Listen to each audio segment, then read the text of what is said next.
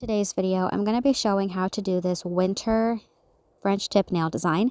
I'm starting off by painting the nail with a coat of this really beautiful sheer pink, but you could totally do a sheer white or a sheer beige if that is something that you personally prefer the look of. Next, I'm going to be taking the sapphire blue and drawing on the French tip.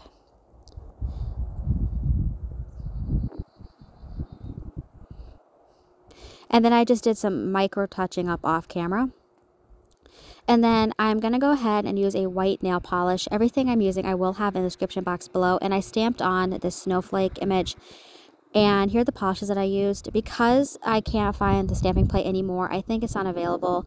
I will link another stamping plate in the description box below that has some really good snowflake images that I absolutely love. And lastly, I'm just finishing this design off with a top coat. Now, if you wanted to add a little bit of sparkle, you could totally do like a glitter top coat. But I just love how simple this looked on its own. But feel free to add a little bit of glitter if that is something that you personally prefer to do. And that is it for this video.